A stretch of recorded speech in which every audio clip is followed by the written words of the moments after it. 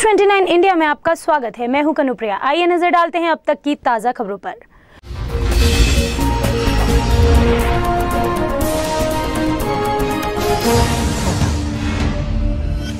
राघोगढ़ में शिक्षा विभाग की बड़ी लापरवाही सामने आई है। छह साल का बच्चा जो पहली कक्षा में प्रवेश लेना चाहता है, वह शिक्षा विभाग के रिकॉर्ड्स में दसवीं का विद्यार्थी है।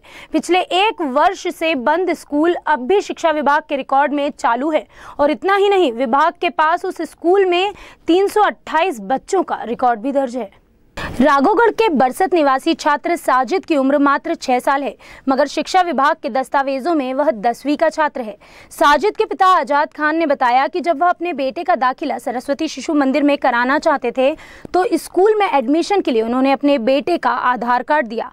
तब स्कूल के प्राचार्य ने उनके बेटे को दाखिला देने से यह कहकर इनकार कर दिया कि उनके बेटे का दाखिला पहले से ही ज्ञानदीप पब्लिक स्कूल में है, जो बरसत से 30 किलोमीटर दूर है। इस मामले की शिकायत बीआरसी राघोगढ़ आसिफ खान से की गई तो उन्होंने बरसत में ज्ञानदीप पब्लिक स्कूल नहीं होने की बात कहकर मामले से पल्ला ही झाड़ लिया। लेकिन मीडिया के ज़ोर डालने पर जब रिकॉर्ड्स खंगाले गए तो पाया गया कि संस्था में आज 328 छात्र अध्ययनरत हैं और संस्था की मान्यता मात्र तीन वर्ष कक्षा आठ तक ही थी। फिर छात्र दसवीं की कक्षा में कैसे प्रवेश कर गया? ज्ञानदीप पब्लिक स्कूल, सावंत खेड़ी के संचालक गोविंद शर्मा ने बताया कि उनके स्कूल की मान्यता सिर्फ़ तीन वर्ष की थी और आठ तक ही थी। मान्यता समाप्त होने पर वह स्कूल एक वर्ष पहले ही बंद कर चुके हैं और इसकी दो बार सूचना बीआरसी कार्यालय को भी लिखित में दे चुके हैं। मामला संज्ञान में आते ही शिक्षा विभाग के अधिकारियों में अफरा तफरी मच गई। विभाग के अनुसार जिस स्कूल में इस छात्र को पढ़ रहा है, वो स्कूल की तो मान्यता ही नहीं है और पहले से ही बंद हो चुका है। जाँच होने पर पूरा मामला सामने आ सकेगा। नेपानगर के बीट गाँव में आईटी भवन का ऊर्जा मंत्री पारस जैन ने लोकार्पण किया। यह आईटी भवन पोस्टमार्टम रूम के करीब ही बना दिया गया है। मंत्री पारस जैन ने मुर्दा घर हटाने का आश्वासन दिया। साढ़े छह करोड़ की लागत से बने नवनिर्मित प्री फैब्रिकेटेड आईटी कॉलेज का लोकार्पण किया गया।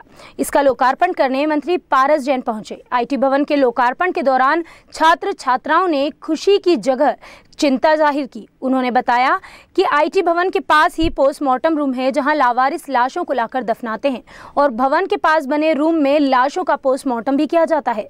जब छात्र छात्राओं ने यह समस्या मंत्री जी को बताई तो उन्होंने मुर्दा घर हटवाने का आश्वासन दिया।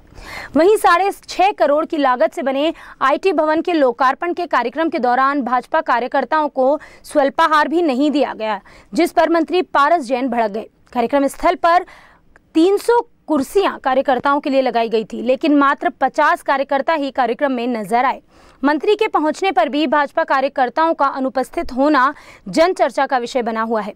इतना ही नहीं, आईटी भवन के बाहर जिस पत्थर की शिला का लोकार्पण मंत्री जी ने किया था, उनके जाते ही अधिकारियों ने उस शिला को भी वहाँ से हटा दिया। समस्या सबसे पहले ये है कि यहाँ पर एक पीएम हाउस है जस्ट पीछे तो वहाँ पर लावारिश लाशें आती रहती है जिसका पीएम किया जाता है और ऊपर सिविल वाली क्लासेस है सर्वेयर की क्लासेस है उनको डायरेक्ट वहाँ पर दिखता है तो बच्चे परेशान होते हैं तो ये एक बहुत बड़ी समस्या है। क्या करते हैं लावारिश क्लासों को वहाँ वहीं कर वहीं पर काट दिया जाता है। यही दफना जी। तो आई से कितने दूर है वो? बस जस्ट आई की बाउंड्री है और वो चिपका हुआ पीएम हाउस बना हुआ है वहाँ पर। पोस्टमार्टम आता है तो सभी को वैसे तो अच्छा नहीं लगता है और पहले से यहाँ पर है और दिक्कत होती ही है क्योंकि सामने से जाता है और सब बच्चे फिर देखते हैं। क्या डेड बॉडी लाते हैं? हाँ डेड बॉडी लाते हैं। इस वजह से। ये छः करोड़ तीस लाख की लागत से आईटीआई भवन बना है। आईटीआई पहले भी चालू होता लेकिन हमारी सरकार आने के बाद अभी मध्य प्रदेश के अंदर एक हज़ार आई चल रहा है। जबकि पहले जब सरकार नहीं थी डेढ़ सौ थी।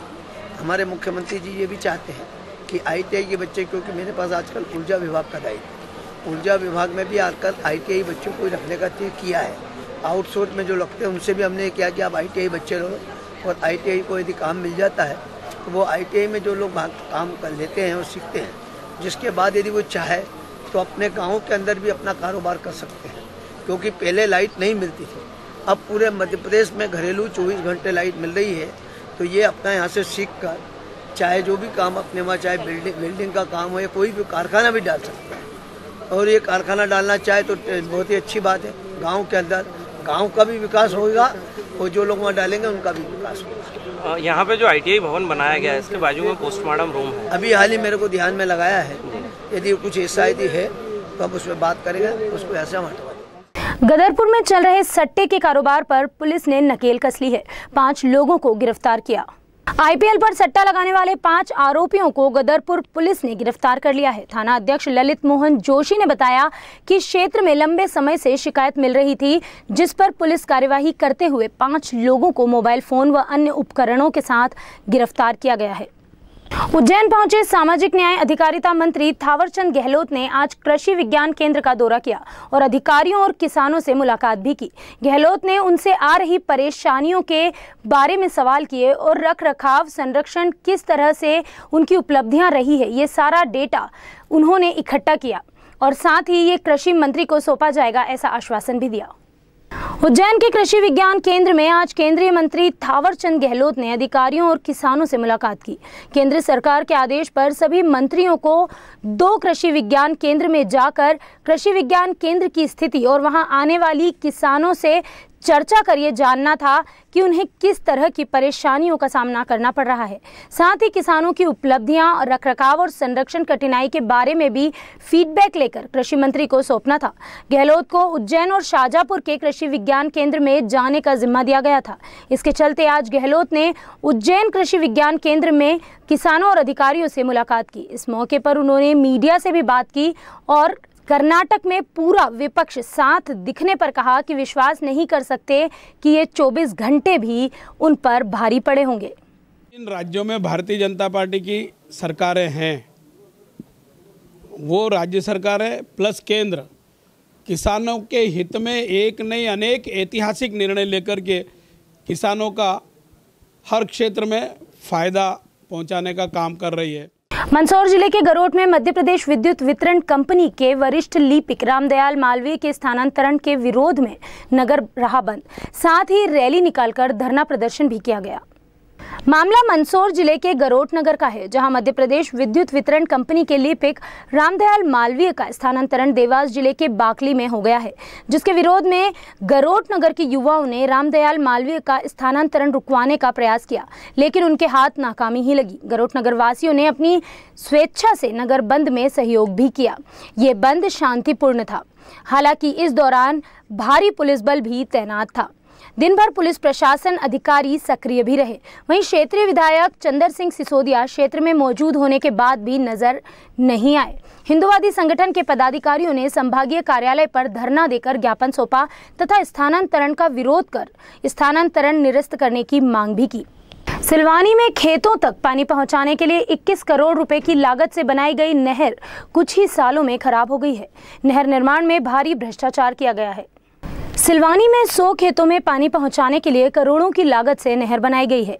ये नहर कुछ ही समय में खराब हो गई और खेतों में पानी जाना बंद हो गया। ये मामला लोक निर्माण मंत्री रामपाल सिंह के ध्यान में भी लाया गया। लेकिन ठेकेदार पर आज तक कोई कार्यवाही नहीं की गई है। खेतों तक पानी नहीं आने से किसानों में रोष व्याप्त है। देवरी कला कृषि मंडी में इन दिनों भारी अव्यवस्थाएँ फैली हुई है और किसानों के साथ भारी लूट खसोट की जा रही है। मंडी में इन दिनों बड़ी मात्रा में चना और मसूर आ रहा है और हालत यह है कि तुल तक नहीं पा रहा। किसान इससे भारी परेशान हो रहे हैं। यहाँ के विधायक हर्ष यादव के नेतृत्व में मंडी में धरना भी दिया जा रहा है।